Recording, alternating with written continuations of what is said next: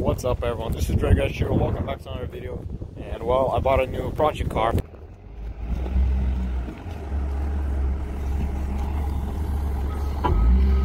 Well, kind of needed a daily, so I bought a daily. But it's kind of like a, you know, just a cheap project car. But uh, here it is guys, I'm gonna show you.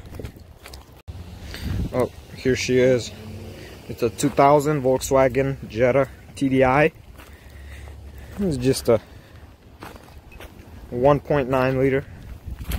It's pretty clean overall. Well, it's dirty right now, but it's pretty clean.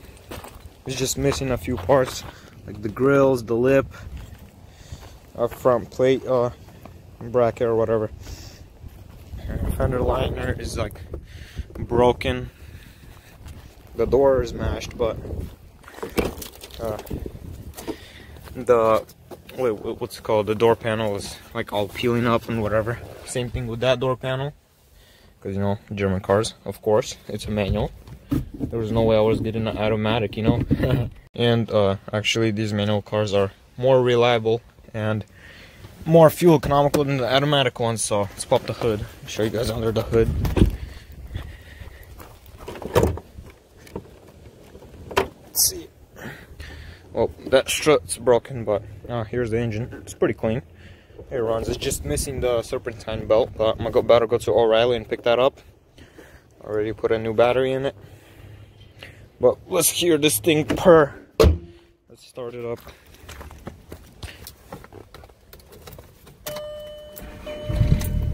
Starts right up without a problem.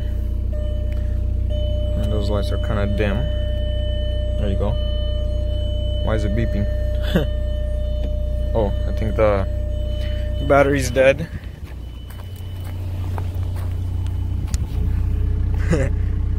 Get ready for the straight pipe. Oh man, that smells so good. The diesel smell. Oh man, uh, I've always wanted a diesel.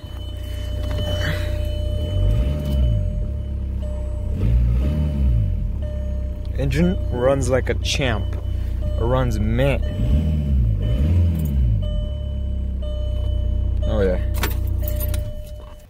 What's up guys? So this is actually the day before I bought the Jetta, but today I'm going to go to pick and pull. I found the exact Mark 4 Jetta with the same color and has a perfect door.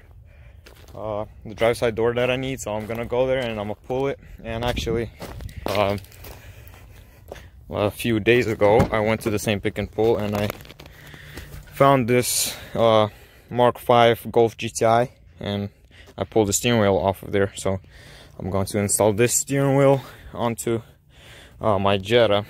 So now let's go to pick and pull and I'm gonna pull that door off. Check this out. We got a GLI over here. Pretty dope. Same steering wheel I got. GLI pretty nice. It's automatic though so. Let's go pull that door. We got like five minutes left over here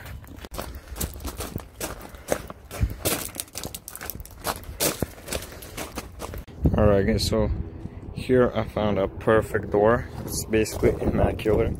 A little bit scratched up, but that's fine. So let's take it off. Took off the fender liner because I do need a fender liner. Let's start taking off this door now. There we go, got the door off. I just might uh, find a few more like interior pieces. I need the box cover, the glove box is gone on here. So check that out. We got another identical one. Okay, it's a little different, but it's the same. I don't know this is gray cloth interior. Oh, the shifter. This one looks nice. See, I need that glove box cover the door. Well, that one's gray. Hmm check that out another jetta i need these grill pieces but these are garbage. Look another silver jetta. There's so many of them. So i just found this black jetta. Leather interior just like mine. The seats are immaculate. And the door panels. I'm about to rip all this out and take it. Look at the steering wheel. It's way cleaner than the one I have. Like, like this is brand new. You know. Also gonna take this trunk uh, carpet or whatever because mine's missing. Oh yeah, this is a gold find right here. Except I need this glove box right here, but he broke it. Oh, I need this cover. I'm taking it. Oh man, it's broken. This out guys, so I opened the hood on this thing. Boom, VR6 baby. Man, I gotta come pull this motor before it's gone. But yeah, I took apart the whole interior. Um, come back tomorrow, take off the steering wheel. I gotta take this piece. I need this piece. I'm gonna take off the steering wheel and all these vents and everything. So yeah. Yep.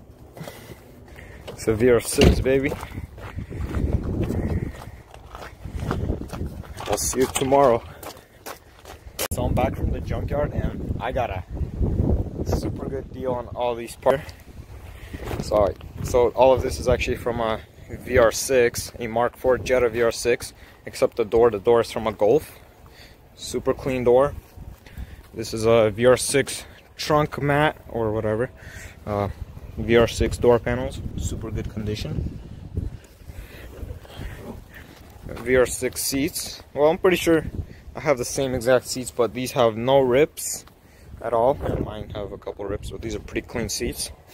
Uh, the glove box, my glove box broken. The two grills that I need on the bottom. The the lip.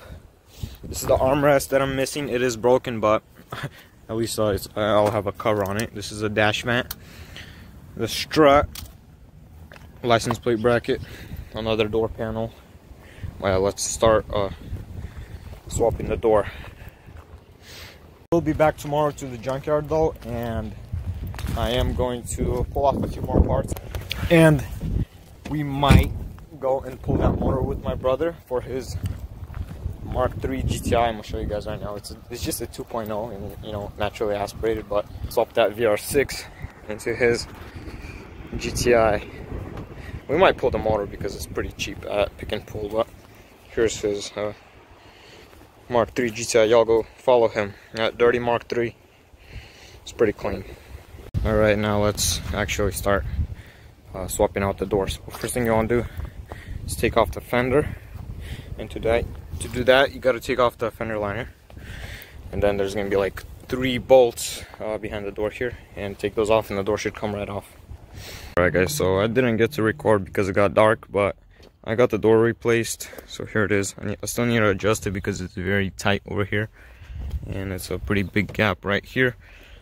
Well, I'll do that later. I just gotta install the fender liner back and that's it but I'll do all of that in the next video. Yes, if you guys noticed, uh, this door does not match perfectly colors. As you see right there, but I think it's actually this door that has been repainted because if you look right here, this does not match the quarter panel at all. So I think this is the right color and this door is the wrong color. And I'm pretty sure this fender might have been repainted before also. Because it doesn't match also. But that's whatever. It'll do. So we did actually go and pull that VR6 motor. My brother's uh, Mark III GTI. I'm gonna show you the motor right here. So here it is. It is a manual it's pretty cool. And this is the engine and transmission. So it's a VR6, which is a inline V6 motor, 2.8 liter, and this is the 12 valves, which is the two valve per cylinder. So this is the 174 horsepower, I think. But yeah.